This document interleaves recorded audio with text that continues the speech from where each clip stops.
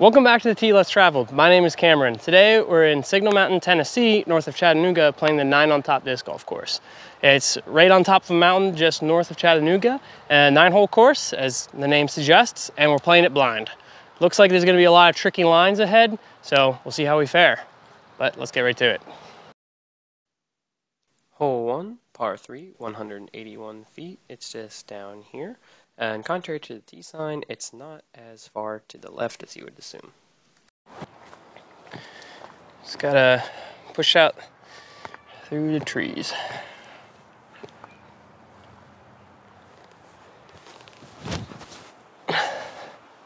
Keep going, keep, oh wait, that might be long. We'll find out. As you can see, this basket needs some help staying up.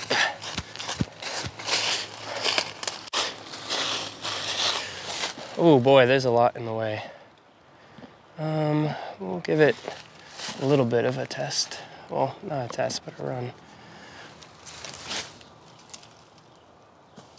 Close. Ooh. Easy part. All right, hole two, 189 foot, par three. We're headed over there. very precarious tee pad and a Mando on that tree right there. Well, made, made the gap. Ooh, this tree branch, well, the whole tree, it's very in the way. I think I might have to give this a try. Oh, close. Another part. Hole three, 216 foot par three, straight down this tiny little tunnel. I could go forehand, but I think for me, a hyzer flip is probably gonna be the best. It's a very short tee pad as well.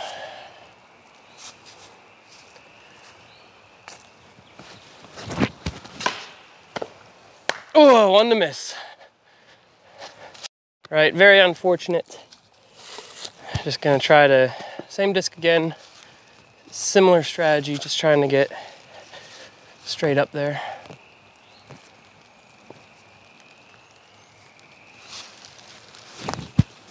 Don't hit though. Oh, okay, long putt, long putt.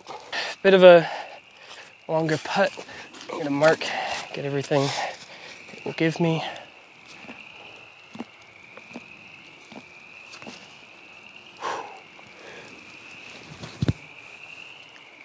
Oh, just, just in front of it. Just in front of it. Oh, first, first bogey for the round. Hopefully get some birdies, get that back. Also, don't know if you guys can hear the crazy frogs, they're really loud. It's also starting to rain, so let's hope we can finish this. Hole four, 165 foot par three. There's a Mando right there, and the basket is almost directly behind the mandatory tree. All right, I thought about same disc turnover, but I feel like this tree right here just makes that a little bit too hard. So I'm gonna try to bust out my normally poor forehand, see if we can get somewhere close. Yeah, and there it is, a poor forehand. Ooh. All right, so a little bit of a pickle. I probably should not have done the forehand at all. I just spooked myself after hitting the tree. Technically this is dead and detached and behind my line, but like, I don't know what moving it would do. So I feel like really all I have is to do a soft putter tomahawk of some, or I think the forehand is probably gonna have to be what happens just because the angle. But let's hope this isn't awful.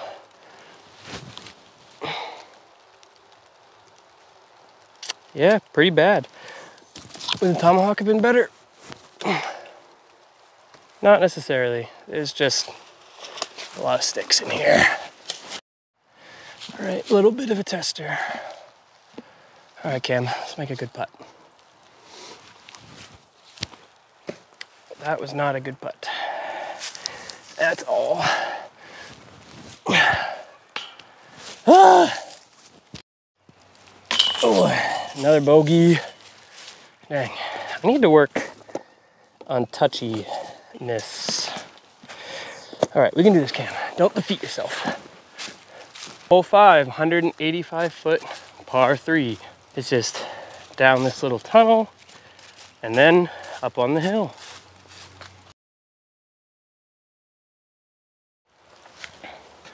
Right, harp on hyzer. Really trying not to hit that overhanging branch. I am getting up there.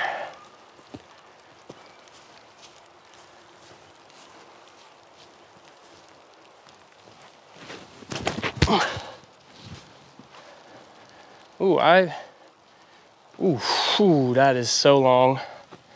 Right, so not enough hyzer, a little bit too hard. I don't need to be a hero, I just need to not get a bogey. Just trying to lay it up real close.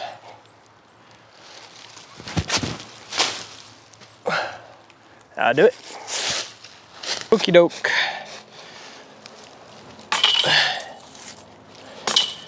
Easy par.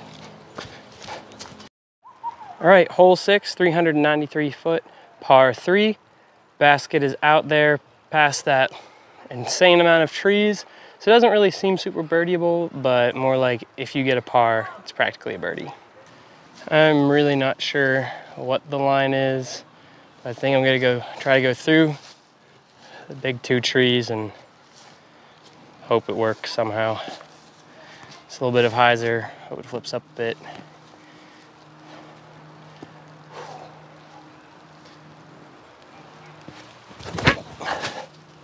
Or not between the two trees. Woohoo, ouch. Man, I need to work on touch. All right, baskets right down through this little tunnel. Just gotta throw something straight.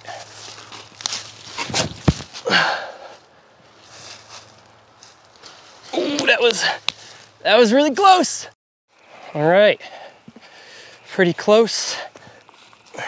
Let's, let's make a putt. Where's the better footing? This way is better footing.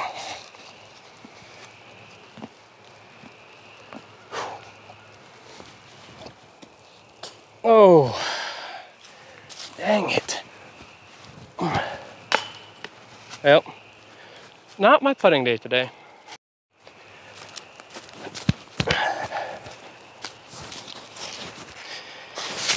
Oh, there's a big hole right here.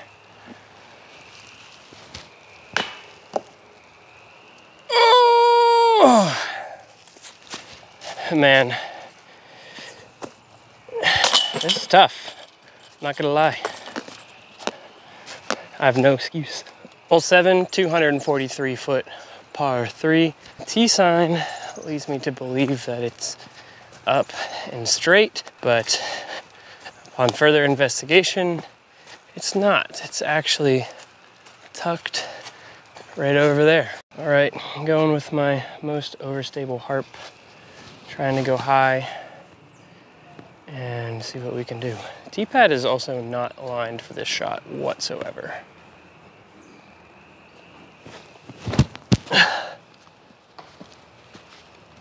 Oh my gosh. All right, so terrible lie, terrible hit. Really don't have much of anything. It's like either try a forehand roller this way or try to poke something up that way on a forehand. I'm gonna try the forehand because I just think this way could just bring so much worse into play. But here we go.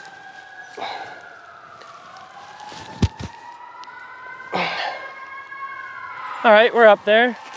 Super long putt, but we'll see. I'll look at the par. No, my brain is telling me you're not gonna make it, but I need to calm down.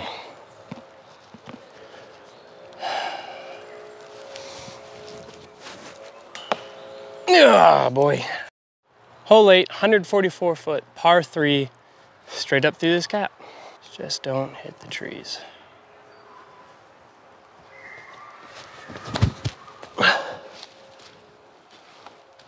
Okay, a little bit of a look, pretty precarious footing. I mean, I've got to give it a run at this point. Something high on hyzer. Oh, darn. It's just one of those days where just stuff doesn't go right. And makes you be like, man, am I good at disc golf? But I'm still gonna keep playing. I love this game. Just, you just have days like this sometimes. All right, final hole, hole nine, 150 feet, straight through this little tunnel full of trees, as normal. All right, let's do this.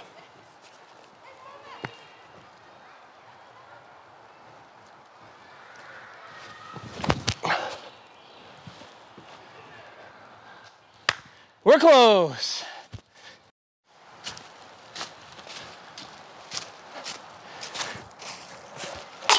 All right, that'll wrap it up.